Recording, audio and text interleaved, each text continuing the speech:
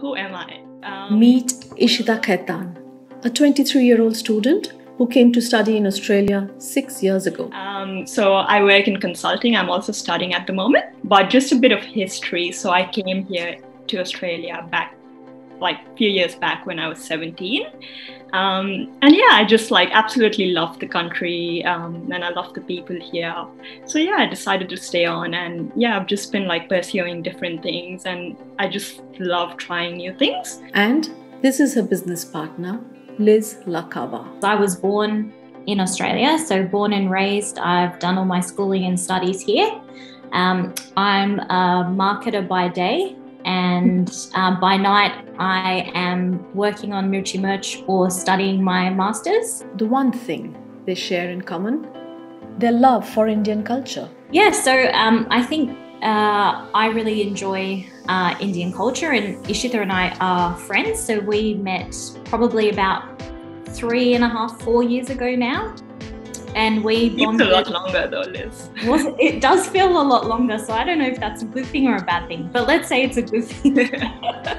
when they met and became friends, they did not imagine that they would one day become business partners as well. They started a company, Mirchi Merch. One of Ishita's uh, relatives um, actually knows someone back in India who uh, is really very ill um, as a result of COVID related uh, complications. Uh, and there was a, a charity initiative raised to, to, raise money to help support his, his treatment. Um, and what we were doing was creating little gift cards that we were hand drawing and selling to people to raise money um, to help fund his treatment. It kind of just came from there. We weren't really thinking about um, starting a business at all. Uh, we just uh, both have um, you know, a bit of a creative streak and we like to draw, paint, um, write poems. So we bond over that as well. And uh, the idea to start a business actually came from family and friends. Ishita and Liz design t shirts, get them made in India, and sell them in Australia. They have just started. So we do all the designing in house ourselves. So they're all original creative uh, creations made by us in Australia, obviously reflecting, you know, the, the unique, um, unique Indian culture.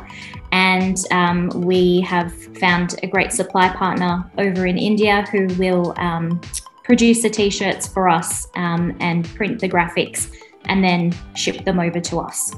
Many others do that. So what's so special about it? And is importing t-shirts from India and selling in Australia economically viable? Don't most others import their goods from China? I'm an accountant, sir. we definitely did think of that as well. But China is great if you're doing larger volumes. And because we're starting off as a very small business, we wanted to test the market before we actually invested that large amount of money as well. Which is why India was more feasible from that sort of shipping point of view yes, production in China is a lot cheaper, but shipping would be very expensive if you don't have larger volumes.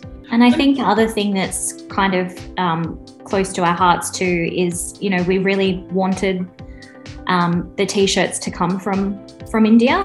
Um, we did we did kind of explore the China path as as Ishita said, but um, it didn't. I mean, it didn't work from a financial standpoint, but it also didn't kind of align with with um, our values as well. A girl of Italian heritage joining hands with an Indian girl to create something for the Australians. An Indian origin girl partnering with a girl of Italian parentage to bring a piece of India to Australia. Perhaps that is what makes Australia the world's most successful multicultural society.